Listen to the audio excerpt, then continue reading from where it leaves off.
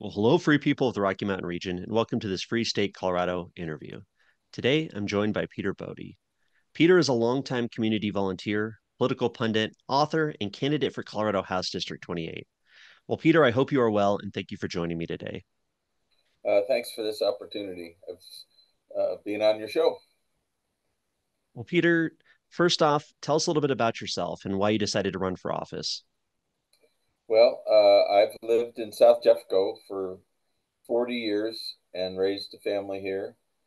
And uh, my wife and I have been volunteers at whatever level, whatever's going on in the schools, um, in the church, international, even going to Kenya and Uganda and Honduras, different things, just sort of stepping up into little roles and uh, whatever it, it took just not in a big way, just in little things, but for a long time.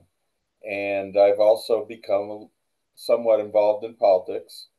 And uh, when uh, when an opportunity opened up, I decided it was time for me to step up and try and undo some of the damage that the Democrats are doing down in the legislature because of my faith and my love of Colorado.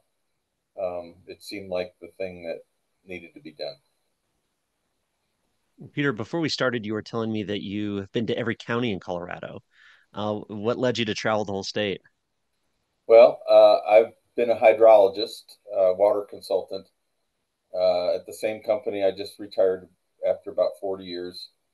And so, because of that, I've worked on projects, water supply, water rights, environmental projects all around Colorado which gets me to a lot of places and sometimes in neighboring states. And then also, my wife and I uh, wrote the first statewide hiking guide. Came out in 1984. We had a newborn on our back. We were out hiking the trails, and that was the first statewide guide. And then we wrote another one, and then later on, we uh, we wrote two books about the history of skiing, called "The Lost Ski Areas of Colorado." So between all those, and just going out and recreating in this beautiful state, uh, I ended up having visited, worked in, traveled through, stayed overnight in, camped in, whatever you hiked, you know, in literally every county in the state of Colorado. Well, that's awesome. We we truly have a beautiful and wonderful place, and like you said, it's so unfortunate to see what some of these politicians have done uh, to make life more expensive, more difficult. Of course, there's a lot of issues with crime going on right now. But Peter, what would you say are some of the big issues that really motivated you? You talked about the damage being done by Colorado Democrats. Uh, what do you mean specifically? Well, uh, I mean, they, they seek, uh, let me just say this I'm, I'm, an environmentalist. And I walked in the first Earth Day back in 1970. I was just a teenager.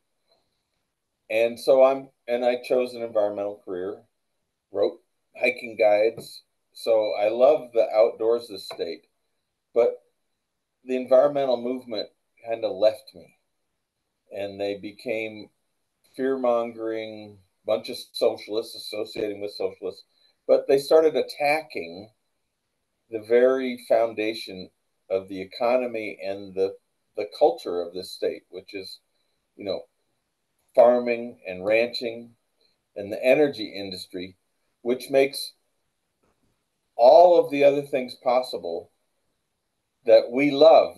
The, the economy is such that we can set aside, you know, wilderness areas and uh, and the most environmentally conscious people on the planet are people who make their living off the land, the farmers and the ranchers. And so it's gone to where we try and punish, our legislature tries to punish those people that have made Colorado what it is. And so, you know, we all want to protect the environment. That's why most people move to the state.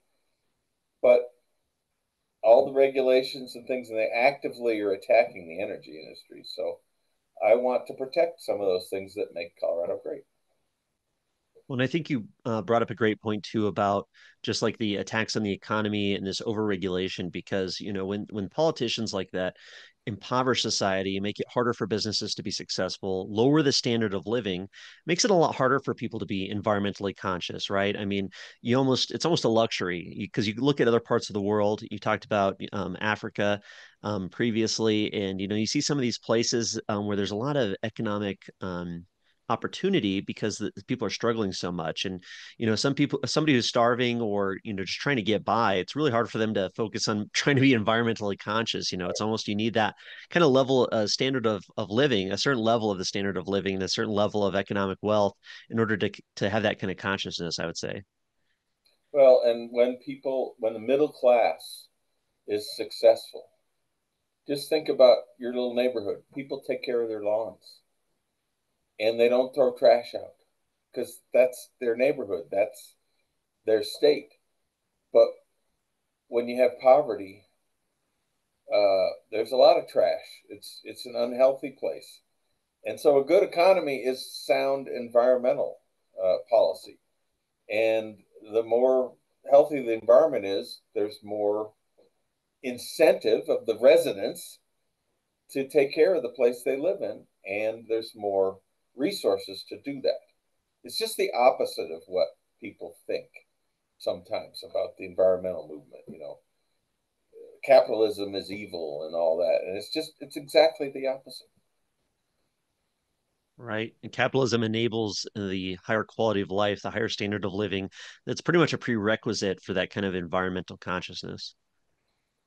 Yeah, I mean Boulder Boulder thinks of themselves as environmentally conscious but they're one of the richest counties in the state. I mean, the, the price of a home in Boulder, they don't have a lot of poor people unless they're hanging out on the mall or whatever. But I mean, it's just part of it's it's part of the system that when you have a healthy economy, the environmental uh, environment benefits, and when you have a socialist system you know, some of the worst pollution was in communist countries, Soviet Union. I'm sure Venezuela isn't a real healthy place right now. And so, and I've seen that in Africa and things in places, you know, people just throw their trash out and just part of the culture. And, and some of that culture comes, comes here. I mean, look at the border, the trash that people just throw stuff away when they're coming across the border. And it's just, it's the independent, freedom loving culture of America doesn't uh, produce a lot of pollution. It, people take care of their environment. So, anyway, that's the difference I see. And and over regulating everything that they're doing in the legislature, even the things they think are protecting the environment, the unintended consequences are almost always worse when you talked about attacks on the energy industry, attacks on agriculture, the food producers in our society, I mean, that sounds like an attack on civilization itself. You know, if you're taking away, you're making it harder for people to produce energy, making it more difficult for people to produce food. I mean, driving up those costs and, and shutting down those businesses. I mean, that's the the that's like the foundation of civilization is to be able to have electricity to have you know cheaper cleaner abundant uh, energy sources and also just to have uh, access to to inexpensive high quality food. I mean you, it's amazing that these legislators and this name of these agendas that they they run on or that they support are really attacking some of the the foundations of our civilization. Yeah and especially energy. People don't understand that the entire Western civilization that we all enjoy is based on cheap energy. And that's what made America great. That's what produced our Western culture. And it's not an evil thing, it's a good thing. People in other countries would love to have that culture, you know, and that abundance. And uh, so when you go to destroy that, and and and you raise energy prices, and who gets hurt the most? The very people that the left claims to care about. People living in poverty or in middle class suffer the most from high energy prices and high and the resulting high food prices and everything else. And I don't know how you knock some sense into them, but you know, my job is to go down there and bring some common sense to the legislature. When you talked about your career as a hydrologist, I mean, water is definitely a major issue here in the Western United States, Colorado in particular. We've seen so much growth, so much development, and of course, you know, no growth in the water resources that we have available. I mean, how would you say that the state government is doing in terms of managing Colorado's water? Well, um, I think they do a pretty good job. Um, as long as the government doesn't overregulate it because there's kind of a, a freedom in Colorado in we have water rights. And so you can own a right to water almost like a property right. And so there are changes. Water moves to where it needs to be by people selling and changing their water uses to something else and that is all adjudicated in a court system. It's not 100% regulated by the state. There, people can make choices, and there's a court system, and they have to apply to do things, but the bureaucracy does not have complete control over that process. People have the opportunity to act in a way they want to. There's some freedom in the movement of water. And even though in some ways it's expensive and people fight over water, which is expensive, but at the same time, the water meet, moves to where it needs to be for development of the state. At the same time, people can buy water and preserve it. There's conservation easements and things like that that preserve some of the ranches in the mountains and some of the beautiful places. So it's an economic system. It's not perfect, but it it has an opportunity for capitalism or freedom to kind of move within the system. So I think it's a good system, but it's not perfect. You know, I I used to swear about parts of it all the time, but but it's uh, it works. Yeah, and it's much better to have the market uh, kind of making those decisions about the price of water, where it should be supplied, where it should be provided, where it should be sold, rather than some politicians or bureaucrats, because we, we kind of know how that would work out, right? Where you have these political powers rewarding their friends and their patrons and kind of, you know, at the expense of everybody else. So yeah, the market's definitely the preferred mechanism for for distributing water. Um, well, never mind. I'm not gonna. Water flows towards money. That's that's one of the things. So there's good and bad parts of that. Uh, that's a good point. Well, Peter, we've seen a lot of bad policy come out of the state legislature in Denver, but just this year we saw a bill passed by your opponent, House Bill 24 1344. It's costing the jobs of workers in the plumbing industry, and it's going to raise the cost of plumbing work all across the state. Uh, what can you tell us about this? Well, the the bill started as a renewal of what of a bill that was sunsetting. So certain laws are created for a certain period and then they have to be re redone or or re-upped, I guess. Um, and so this was the plumbing board sunset bill. Basically, there's a, a state agency, a plumbing board that regulates the licensing of plumbers.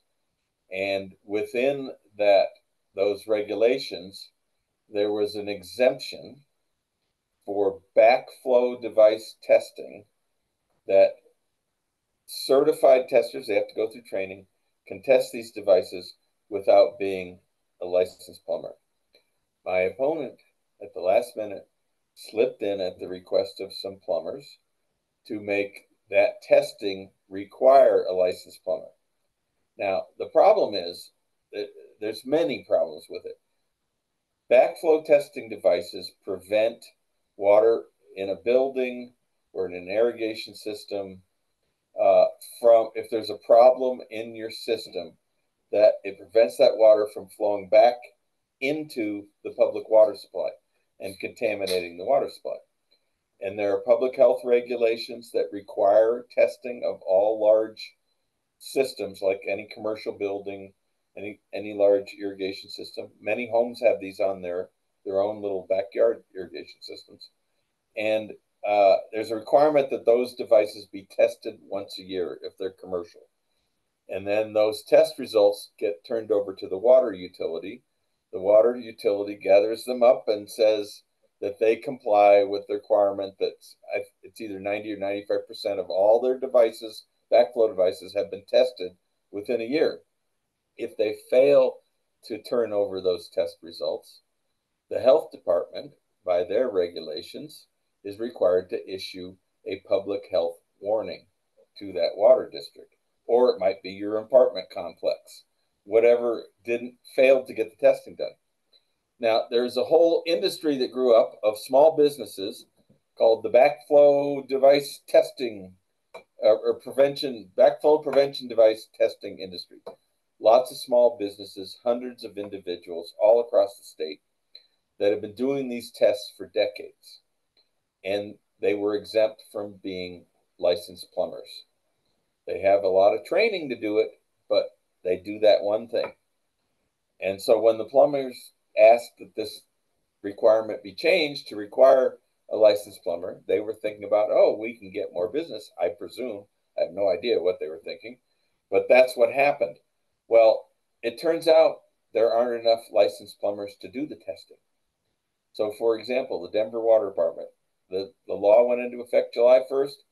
By the end of July, the Denver Water Department, which supplies a million and a half people, has 44,000 of these backflow devices, was 40% behind on their testing for July. So they're in danger of getting uh, a notice from the health department that they're out of compliance. And in the letter they wrote, they said that one notice that they have to issue to their customers costs a quarter of a million dollars in postage and printing one notice, and they there's not enough people to do the testing. So it's worse. I mean, it's bad enough that they put a small industry of of small businesses potentially out of business, their livelihood that they've been doing for decades.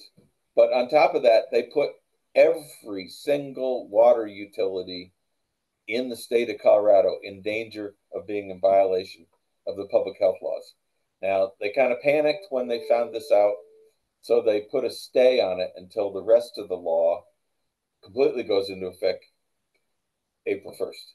So there's a stay until April 1st. At that point, all these backflow testers will be out of business, and every single water utility in the state could be in jeopardy of violating health laws. Not a, not a, it's not a small problem. I call it the big backflow blunder. And my opponent was the lead sponsor on the bill and with one other legislature, the sponsor of that amendment. It's just stupid. And wow, it's, yeah. It's a result of passing 500 bills in the state. I mean, they're drunk on power. And then along come two Democrats who are under the influence of special interests, you know, and they cause a car wreck. And my, my saying is, it's time to take away their keys, the Democrats' keys, and bring some sober Republicans to the legislature. And I'm a sober Republican. Well, it seems to be an example of you know one industry using the political mechan- political machine, you know, this, uh, this political power to really put their competition out of business, right? I mean, you got these big plumbing companies who have influence over the state legislature, are able to get them to add this to this bill. And like you said, there's 500 bills, so very few people uh, down there are paying attention, especially something like this, right? The plumbing sunset review board. I mean, how many people are showing up for that one, right? They're not paying attention to the bill. Special interests get these politicians to sneak this in there in this amendment, and now all of a sudden, you know, so many people can be out of work. Plumbing industry is able to capture all of this industry. And of course it's a distortion in the market changes how the process has been working for a long time and then causes this shortage of workers leading to this expensive uh, blunder like you said where you know denver water is not able to do what they need to do they have to spend money notifying the people. They're not able to accomplish the the safety techniques needed to ensure that water is clean and safe to drink here in the denver metro area. I mean like you said it's it's a big deal you know uh, the safety and cleanliness of our water is a major issue right? Yes and and I'm not sure it was even the whole plumbing industry. I think it was just a couple of individuals or local union that that wanted it. I'm not even convinced the entire plumbing industry wanted it. As I, I spoke with someone, an attorney at the Denver Water Department, and she said, "Well, the reason there were all these backflow testers as a separate little industry is because the plumbers didn't want to do it for years and years and years. And as she said, it wasn't sexy enough for them. And and just someone just thought, well, we should have this work. I'm not even convinced all of the plumbing industry in the Colorado wanted it, but it's just a major screw up. It was at the last minute. The bill had gone through two readings, amendment added at the end, they didn't invite other people potentially affected. They didn't even think about it. And so this is what happens when you have Democrats drunk on power passing. Uh, they introduced 700 bills and they passed 500 of them. That is not the way to run government. And your life and my life and no one's life in the state of Colorado is better because they passed 500 bills. I mean, would it be better if they passed a thousand? You know, it's just ridiculous and it needs to stop. And this is an egregious example, but I'm sure there's many others. Oh, definitely. Definitely. I'm sure this happens all the time. You know, uh, during my legislative uh, kind of reviews I did this year, the legislative live streams doing every week, uh, did that during the legislative session earlier this year. I mean, there are so many of these little nuances in these bills where there's so much potential for abuse or potential for somebody to benefit at the expense of somebody else. And like you said, and it's not really a sexy issue, as you said. So not everybody's paying attention, and, and it's very easy for this kind of thing to happen, unfortunately. So yeah, I mean, it seems like they're drunk on power. Uh, couldn't agree with you more on that. Um, but you know, uh, P- Peter, what's that uh, hat you got in the background there? I wanted to ask you uh, about that one. I got one here. This is my motto make Colorado Colorado again. And people can read into it what they want, but it basically says Colorado is changing and not for the better. And we welcome people. It's a beautiful state, but don't bring your politics from the East Coast or the West Coast with you. And that's what's changing Colorado dramatically. And it's not for the better. Well said. Yeah, definitely. Uh, can you tell us a little bit, real quick? I should asked you at the beginning, but where is Colorado House District 28? Uh, it's in South Jefferson County. So the the north end is uh, the south end of Lakewood, and then west to C470. East, it ends in Denver, Wadsworth, Kipling, uh, some of the parts of Denver, and then it goes south to about Coal Mine with a little they draw all these weird things and a little bit goes all the way down to Chatfield Reservoir. But but basically I call it South Central Jeffco. Or okay. you know, there's there's suburbs further south and there's Lakewood to the north and it's kind of in between. Awesome. Well, Peter, what else what else do you want to leave us with today? Well, uh, vote for me and uh, support my campaign. But I'm I'm doing this because I just need someone need to step up, and I'm happy to do it. I'm not launching a new career. My goal is not set to become governor or anything like that. I'm just doing this to serve my community and to repair some of the damage that's been done in the legislature as much as I can. And hopefully, we'll elect other sober Republicans to help that because we have to flip some seats and to to stop their supermajority because a supermajority is just a danger to all of the citizens and small businesses in Colorado.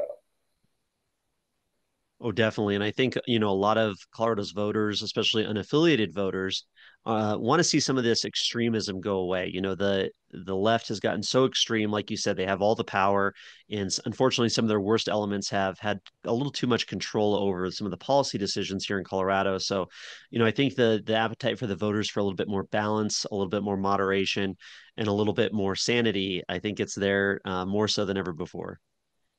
And and I talked to a lot of unaffiliated voters, and uh, they're ready. They like what I have to say, and uh, you know, I say that the Democrat Party is the party control, and they want to control your vote, your voice, your pocketbook, and they also want to control your children, which is some of the worst of it. And um, Republicans are the party of freedom and faith and family and and sensible, common sense legislation. And we don't need 500 new bills every. We should be the if we do a lot of bills, it should be get rid of some of the stuff we already have. So awesome. That's what I'm really trying. Perfect. Well, I really appreciate your time, Peter. Thank you for taking time out of your campaign schedule.